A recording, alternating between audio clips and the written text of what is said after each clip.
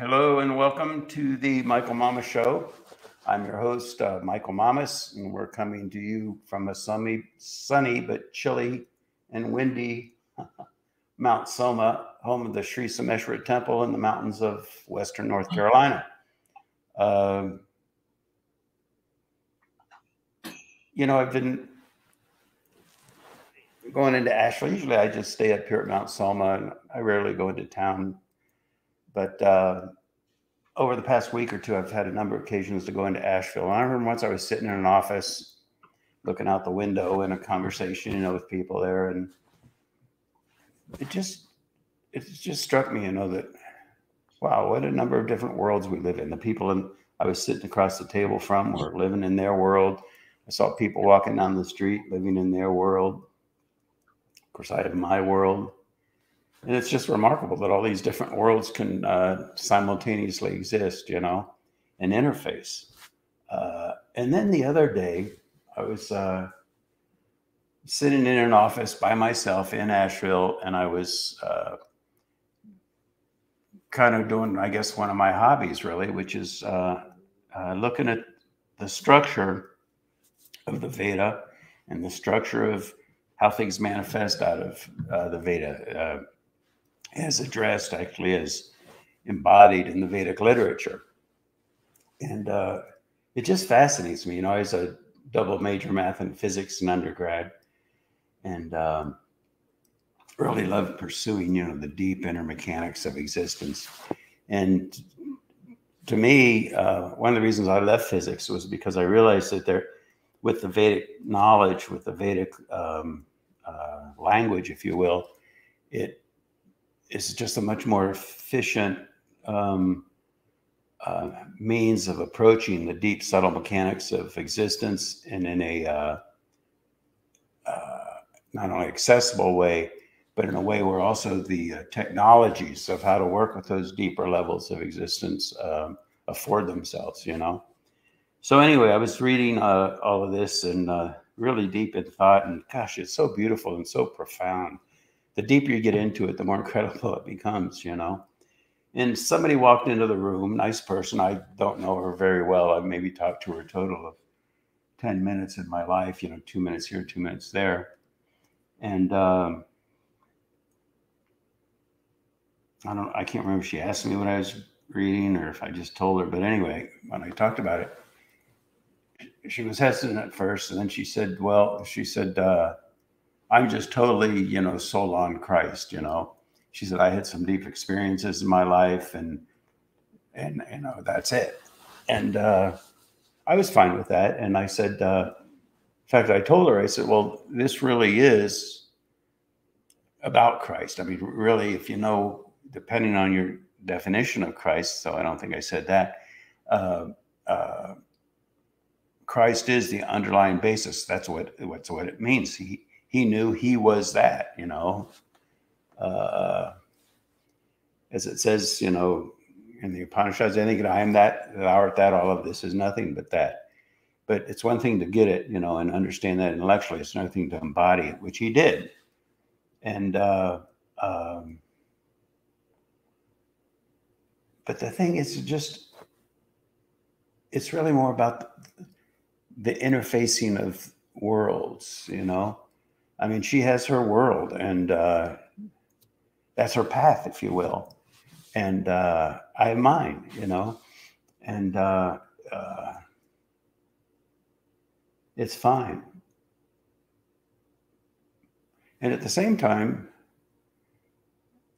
you know, um, each world can benefit from another if the interface, if the relationship between the two is, is uh, healthy if it's healthy, it's constructive. You know, it's not about whitewashing the planet so we all think the same. In fact, quite the contrary. It uh, uh, it strengthens a person's relationship with their own world. It purifies it, if you will. Uh, uh if again, if the relationships are healthy, but very rarely are relationships between different worlds healthy. Uh, and we see this in our personal lives. We see it globally, you know, what's going on with Ukraine and Russia right now. Uh, the Ukrainians, you know, have their world. And uh, uh, uh certainly Putin has his world. And uh, see, the point is, none of them think, uh, oh, I'm, I'm a bad guy and they're, they're the good guys. And so I'm going to go bomb them.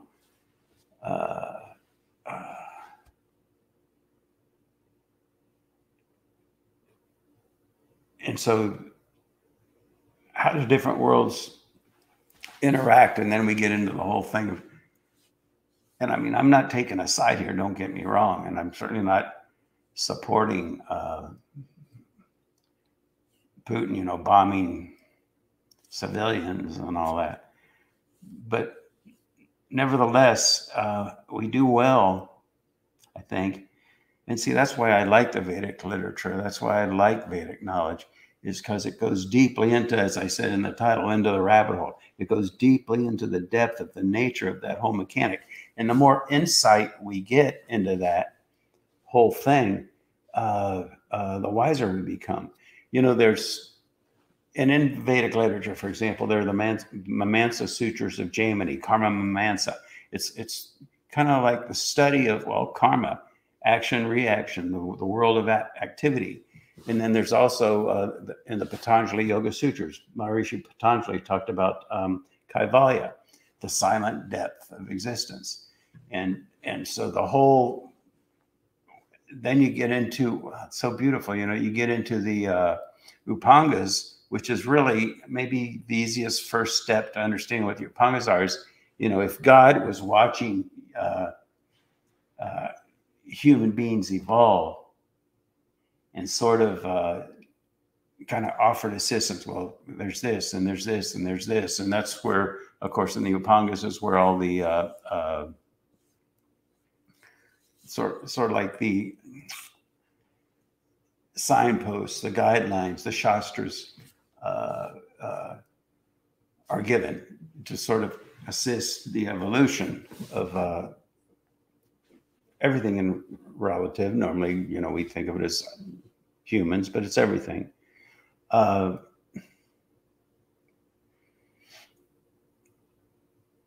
so, Scotty, how are we doing here? Is this all making sense so far? Yeah, for sure. Okay, good. And, and uh, um, it's interesting that see the process in, in the Upangas, which is you know that path from we could say from oblivion to full awakening uh, is is the path um, that culminates in um, Vedanta. Uh, so it goes from Nyaya, which is the we could say the simplest form of investigation, through a progression called the Six Systems of Indian Philosophy, and finding its fulfillment in uh, Vedanta. But Vedanta finds its truth in uh, Kaivalya.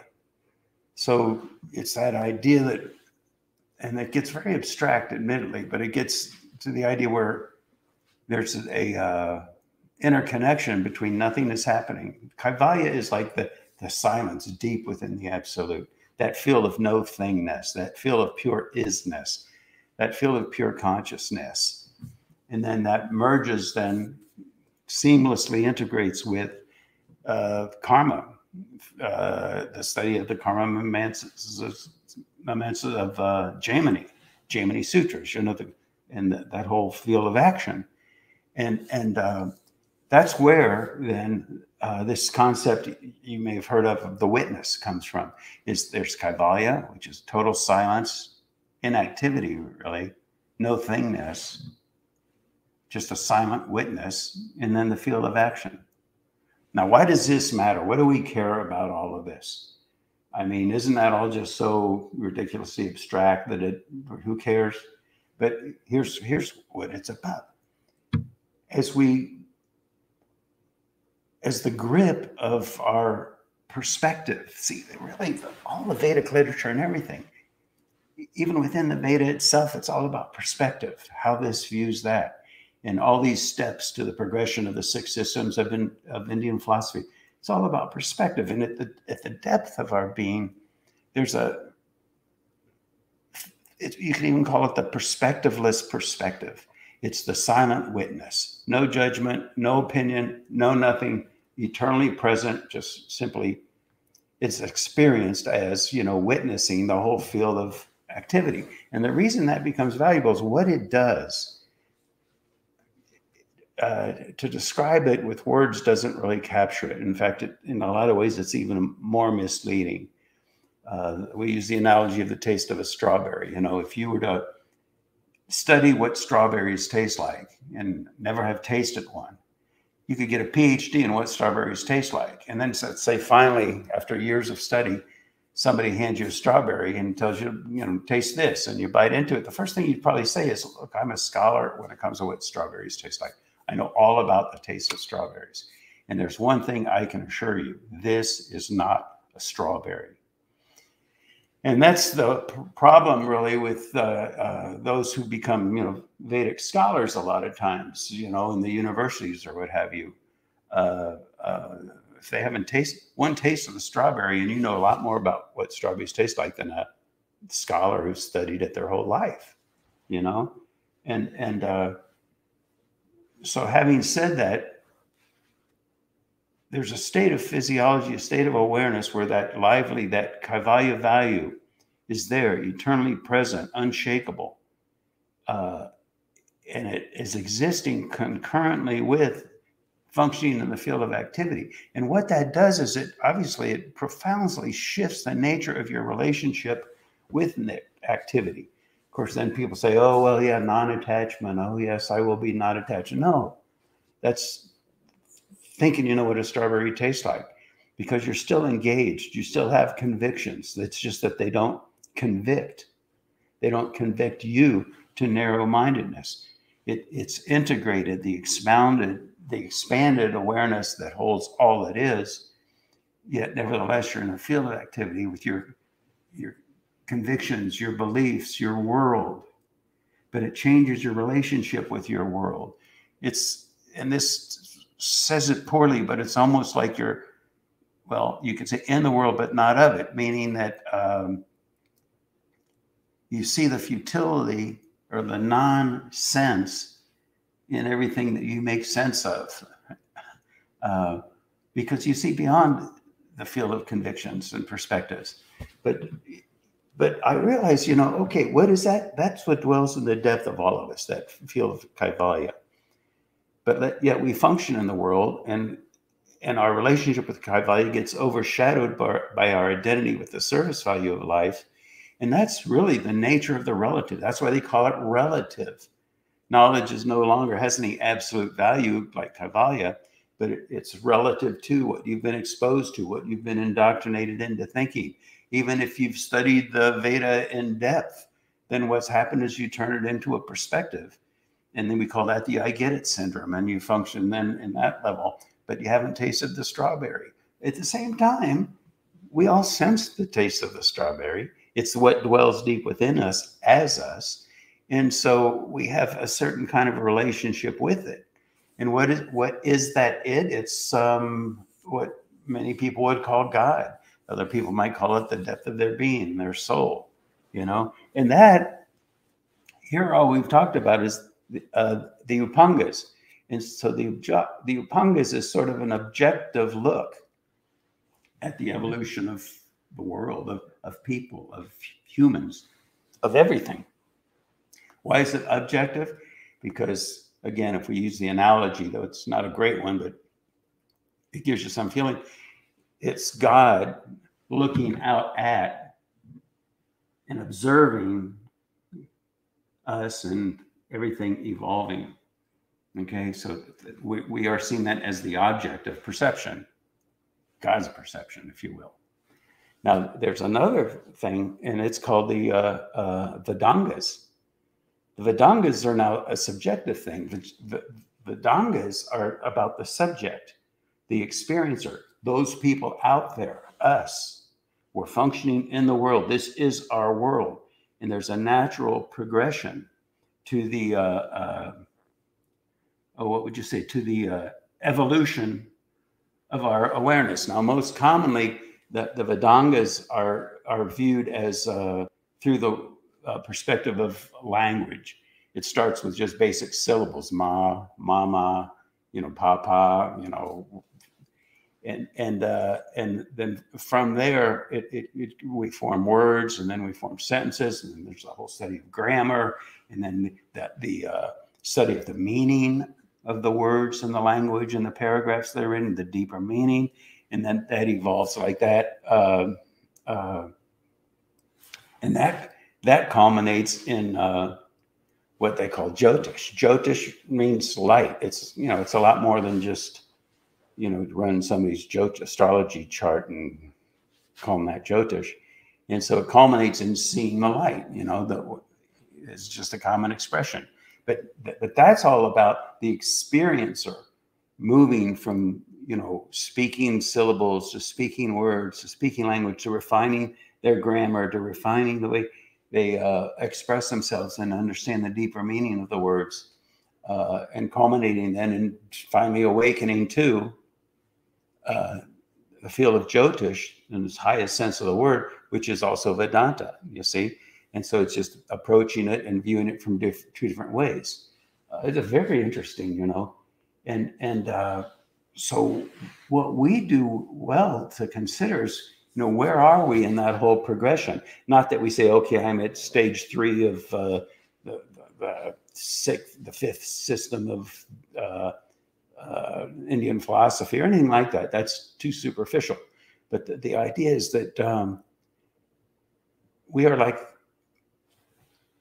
in a world that we be, that we view the world through those eyes and that defines the world for us.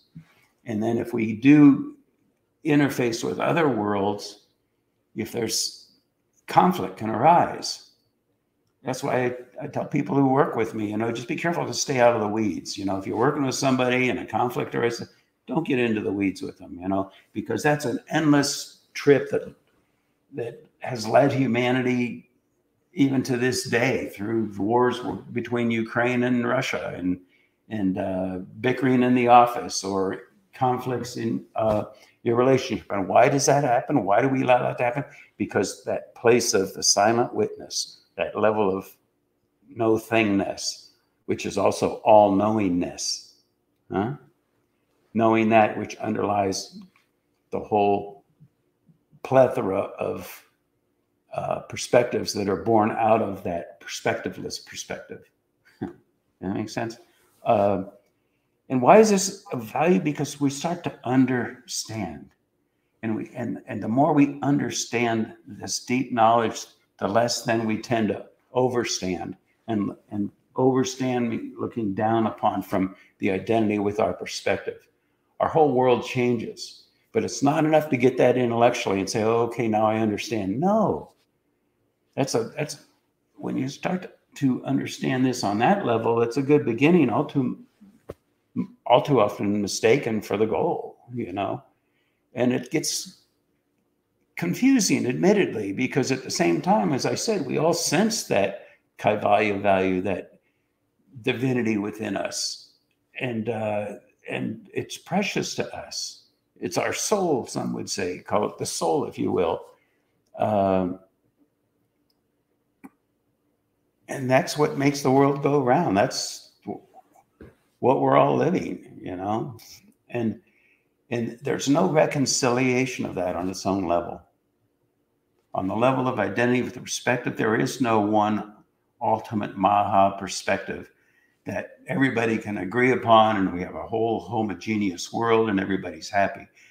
Because it's relative, the world has and always will have two poles to spin around, opposite poles. Okay uh, and it's the dance they do with one another, yin and yang, if you want, uh, uh, that determines the, the, nature of existence. And what makes uh, our life here, our existence healthy, is the degree to which that's integrated in the perspectiveless perspective, the field of value, that Mother Earth, you know, is the source for every single branch of the tree. And when the whole tree is healthy, all those branches are healthy and in the wind they sway in unison and harmony with one another you see uh, and we're just pretty far away from that as a species. I mean, I hate to say it. Uh, and then people pick up, you know, scripture, the Bible. You know, you, you always hearing these people say, "Oh, well, the only," you know, if you watch Sunday morning TV or whatever, you know, the ministers are saying, uh, "Well, the only way out of the mess the world's in is God." And you know what? They're right, aren't they? That's Kaivalya, the transcendental level. But what what is their relationship with that? What is their understanding of that? What is the do they really get the mechanic of it? And also, even more importantly, do they have the techniques or the technology to free themselves from their identity? And and and, and not that you abandon it. In fact, you you you nurture it, but you nurture it in a way where you're no longer overwhelmed by it and lost to it and lose your own sense of your own wisdom your own divinity by substituting it for some notion of divinity. You see? so, you know, when I drive by a church, for example, I'm inspired because there is where people congregate to reach out for that quality. And that's a beautiful thing, that Kaivalya quality, that thing they sense within themselves and it gets to their experience fed and nourished and it's so thank goodness we have those churches and synagogues and temples and all that. Uh, but at the same time, is your it's like I say, it's not about the thing; it's about your relationship with the thing. Is your relationship with it healthy?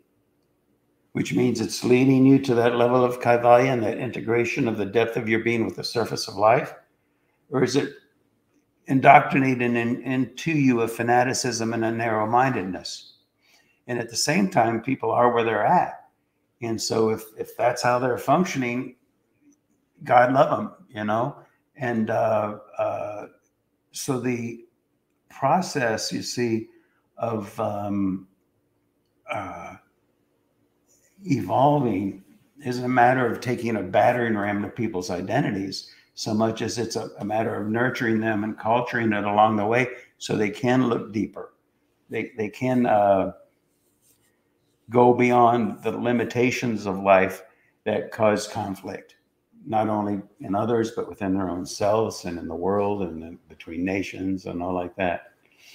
Uh, uh, so, taking it to a pragmatic level, what do we do about Ukraine? What do we do about the whole Russia thing?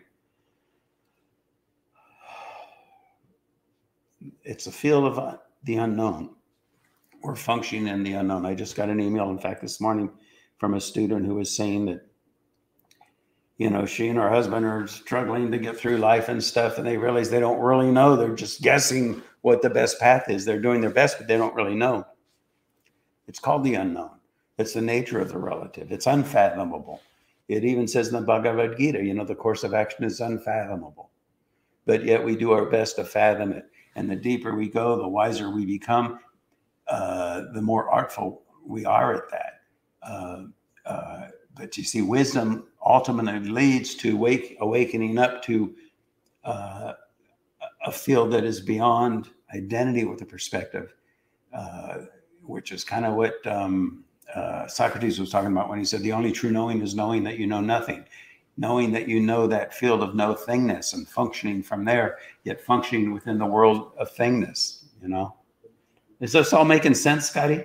Yeah. Um, I just had the kind of the notion of it's like, it's almost like you got to remember you're in a sailboat or you're in an airplane or whatever, and yeah. you're able to like move the stick, yeah. right? Left, yeah. right, up, down. You don't have to move it just left or right. You know what I mean? You have other, you know, and then you, you're, like you're saying is getting into touch with that. You're in the boat. You realize it's your yeah. vehicle to traverse the ocean of life, but you're not lost your identity with the boat. Yeah, and like the sooner that, yeah. you, the sooner you embrace the fact that these are the rules of engagement for this thing, you know, that we're in or whatever, then you can kind of relax into the fact, oh, okay, that you know, all I have to do is you know do my thing. Don't get stuck. If I get stuck turning left all the time, you know, yeah, yeah. that's a problem. yeah, that's right. And that's kind of what we do, isn't it? We take a little model and we cling to it until it stops working, until it realizes we're just going into a, a circle of turning left, left, left all the time. Right. Well, So I, I got there last time, and all you know, and Yeah. to this destination, and all I did was make laughs. And so the, the tendency then is, if we ever get to that point of frustration, is to go out and try to find another belief system to cling to, which is just keeping it on the surface as opposed to going deeper. And even if you get Right. into the Vedic knowledge or what have you, and oh, okay, I get it, I'm not going to do Right. that anymore, then you turn that into a model. right. And uh, somebody once said, you know, is, is, Michael, isn't what you're teaching just another model? And I said, well, if it is, if you make it into that, it's not what I'm teaching anymore. You can do that, but it's not what I'm teaching anymore. You know, uh, um, but nevertheless, these insights. Here's here's another thing that, speaking of insights, there's a couple of things in the Vedic literature. One is called the Itihasas. I think people are familiar with that because it's like the Ramayana and the and the Mahabharata, you know, and and what those are. Again, it's all perspective. The Itihasas are about the perspective, the viewpoint, viewing the relative uh, from the perspective of divinity entering the relative. Now we can talk about it as oh, okay, well, there's a story and this happened and that happened. That's all good and true, but but it's beyond the story as well. It's those are um, principles of the mechanics of creation. From because see, it's all built out of perspective. Uh, uh, uh, uh, of the mechanic of creation viewed from the perspective of divinity entering into and interfacing with relativity. You see, that's the Itihasas. The Puranas now, which if you've read the Puranas, they they read very differently than the Itihasa and the Ramayana. But nevertheless, what are they? They're, they're observations, they're perspectives on the same exact process, but from the perspective of relativity, viewing the emergence, if you will, of the absolute, the uh, embodiment of the absolute as it enters into uh, uh, relativity. Uh, and they read very differently. So it's all perspective. This universe is born out of perspective. And even within the field of uh, the Veda, now the Veda means that's uh, everything we've talked about so far has been Purusha. It's it's been about the relative, you know. But then there's also Apurusha, which means not relative. It means absolute, and that's really what the Veda is. And the Veda talks about this same interacting dynamic, but when identity isn't lost to the dynamic, the the true nature of the thing uh, is not overshadowed by its self-interacting dynamic. Whereas in relativity, we lose our sense of our we have some sense of it, and that's called uh, uh, within the realm of smriti, which is memory. So we still have some memory of who we are. We sense it deep within our being, but nevertheless, it's overshadowed. Within the absolute, there's all these inner dynamics. There's Rig Veda. Uh, uh, well, then you do Rig, Sama, Tarva, you know, like that, and also there's uh, the Upanishads, the Aranyakas. All these are uh, interacting dynamics, if you will, but un um, occluded, if you will, un um, um, bogged down, if you will, uh, from um, not just pers- not perspective, but identity with perspective. Yes. Does that make sense, Scotty? Yeah, for sure. Oh, good, good. And and the whole study of the thing is so beautiful. And why do we even bother? Because what it does is it helps free us from a limited perspective of things. Now we don't want to take though the whole field of Vedic literature and the brahmanas and mantras and all of that and condense it down to a simplistic model because then uh, we've just calcified it. You know, we've uh, crystallized it into a narrow point of view and decided we have knowledge. You know. Uh, and if we take that understanding, it's called humility, really. A level of humility with our relationship to things we think we know. You know? Uh, and that's really the purpose here at Mount Soma is to create something that frees us. That's why they call it spiritual emancipation, liberation. What are we being liberated from? That which overshadowed our own divinity even though we cling to those things in the name of our own divinity, in the name of our own spiritual growth, in the name of our own safety, in the name of our own health and prosperity and success. It's a delicate thing, you see. All right, I think that's it, Scotty, unless you have something more. No, I think it's just worth a reminder of okay, if we're loosening our grip on this, it's meditating, self contemplation. It's, you know, keep going. Yeah, yeah, that's right. There, see, there is a technology to free the awareness. And meditation is the most powerful tool. Even what we did today, I think, is a powerful tool. It, it helps us to understand uh, a little bit, get some insight into the mechanics of the whole thing. Yeah, and you know, I, go ahead, it, Michael. Isn't it kind of like uh, where you do these things? It's kind of like shaking up, shaking it up, so you can start to take dips down towards, or or be able to start moving towards that that you know area easier yeah, that, and easier, and freeing yourself up. You that's know, right. That's right. And and the danger is every step of the way okay, I get it. And then you say, oh, wait, I, I thought I got it. Then now I get it. And so then right. you're stuck again. Oh, right. no, now I get it deeper. And, and so it's the I get it syndrome until the point, ultimately, if it culminates in something called enlightenment, then it's uh, the ultimate getting it means you don't get anything. It's a perspectiveless perspective.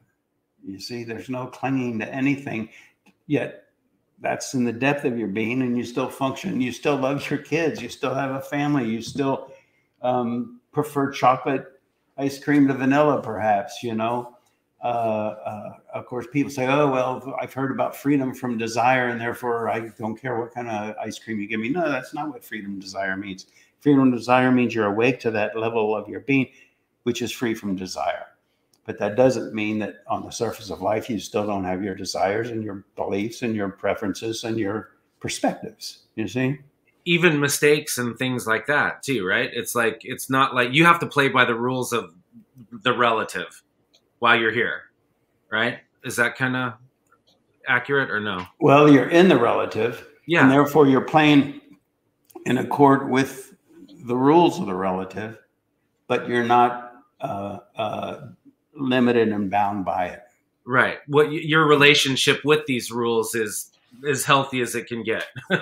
yeah, yeah, that's right. And that, that once you get the integration of the karma mimamsa of, of Jaimini, uh, uh, the and then the uh, uh, notion of Kaivalya that Patanjali talked about so much. Once those two things, polar opposites. I mean, they're opposite. They simultaneously exist. Exist in harmony with one another, but which is it? you know. Uh, anyway, I think that gives you enough to think about, and I think it, it makes the point. I could talk about the structure of uh, Vedic literature for days, and again, it just gets more and more beautiful. But I think, I think a lot of people, it becomes too theoretical. Uh, uh, uh and so I don't, you know, I, I, I don't talk about it that much, but it's my personal hobby. You know. All right, that's it. Thanks for listening, and we'll talk to you next time on Ancient Secrets Revealed.